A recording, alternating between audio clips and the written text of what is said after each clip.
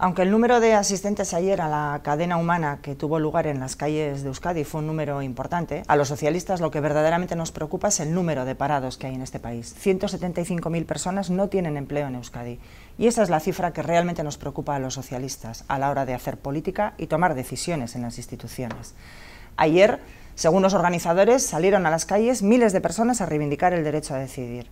Bien, derecho a decidir qué, sobre quién, para qué, hay cantidad de incógnitas que siguen sin resolverse y por lo tanto el derecho a decidir en abstracto sin un apellido no sirve para mucho.